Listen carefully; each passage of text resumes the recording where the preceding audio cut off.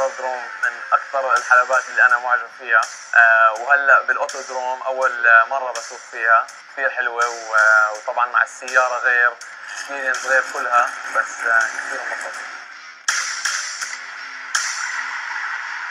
كان هدفنا من الويكند كله هذا إن نجي ونتجهز للسباق الكبير اللي هو ال 24 ساعة.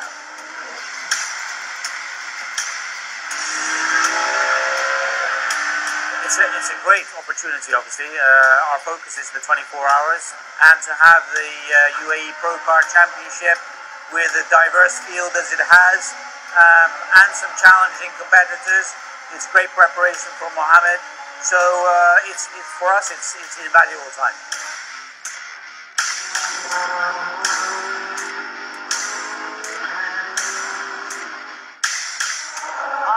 Done karting for a year and two months exactly.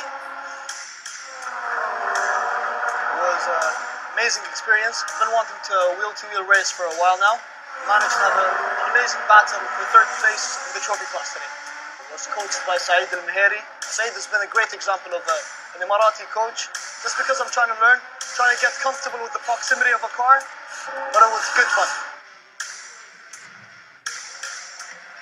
Today is a very big day for us. Number of cars are increasing, so we are very happy to see those cars are carrying our brands on the track.